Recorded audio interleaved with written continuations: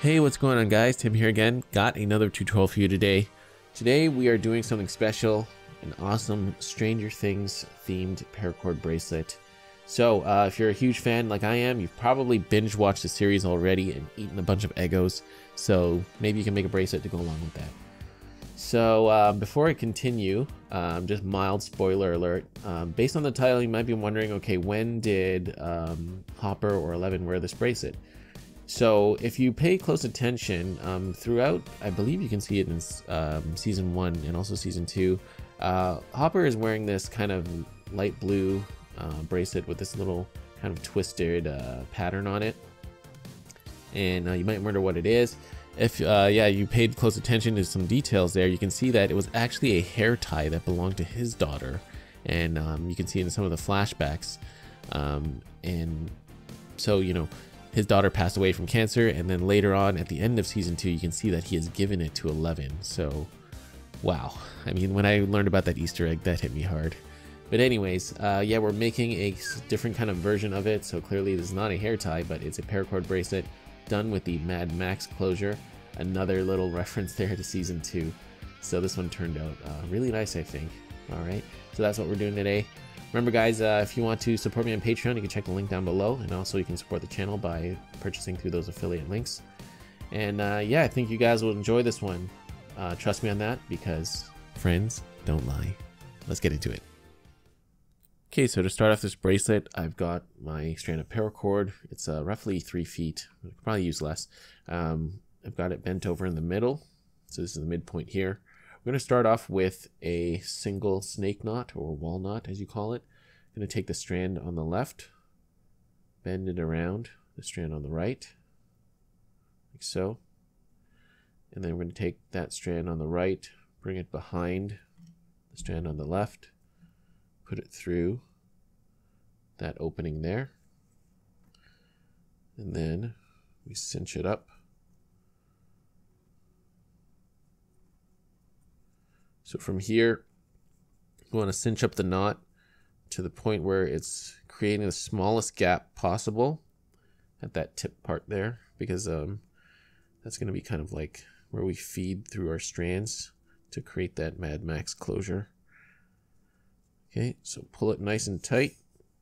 so. There you go. See, that should be small enough. Okay, next we're going to start twisting the bracelet. That's what creates that spiral pattern.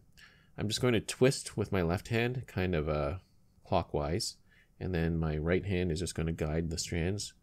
So to start twisting, like so. This is going to, depending on the type of paracord you use, um, if you use a stiffer one, this will definitely stay together much easier. Um, if you're using a softer paracord, uh, you may have to give it a little more tension. Okay, and twist enough so that it's going to um, encompass the you know uh, circumference of your wrist. So I think that's good for me there. Okay, so I've got my bracelet part like that.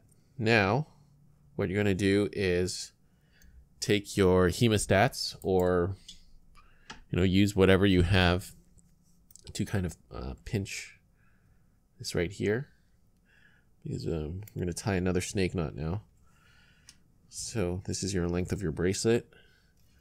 Then now from here, I'm going to, to end it to prevent it from un, uh, unraveling, we're going to tie another snake knot. So um, again, we're going to do the same knot. Take the strand on the right, bring it behind the left, and then left under that and through. So same knot as before. Okay, so let's do that. Let's cinch it up. Because those strands are twisted, it may behave a little weirdly, this snake knot, but just play with it until you can kind of get it nice and cinched up. Okay, there we go. So now we have our twisted section. Now to finish, we're going to feed the strands through this knot here. Okay, next, we're going to take our fid just going to attach it onto one of my strands here and you're just going to feed it through this very same uh, little loop we created up here that's why it was Important to make it as tight as possible.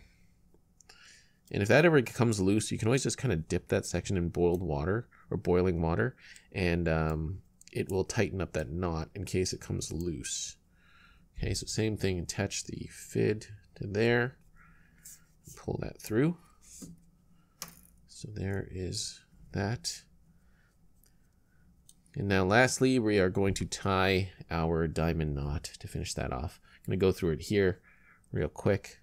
Um, all right, we're going to go loop over top like so. Over that strand there.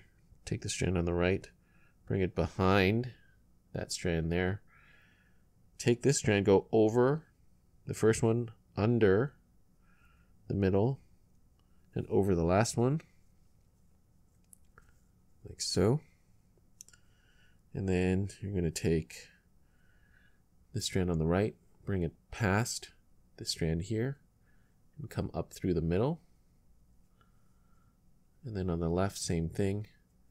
Take this strand here, bring it past this piece here, come up through the middle. Okay, if that was too fast, you can always check my dedicated diamond knot tutorial for that. Um, it'll be linked down below. Or you can just tie any sort of knot you want here. So now we're just going to adjust our knot. Make sure you give yourself enough space for this uh, closure to work because it's going to need to open enough for you to slip your hand in there. So just adjust that. I'm going to cinch up this knot real quick. And then I'm just going to clip off the excess. Okay, and we are finished. Snips and cinch off that excess, and this bracelet is ready to be worn. So again, this was my tribute to the Stranger Things, uh, that kind of hair tie bracelet that Eleven wears, that Hopper gave her. So super awesome on that. Nice little Easter egg. And uh, yeah, guys, hope you enjoyed this one. Remember, you can support me on Patreon, and also uh, you can check out those affiliate links down below. So uh, yeah, remember, justice for Barb and Bob. I love you, man. Thank you so much for watching, guys. See you in the next one. Bye.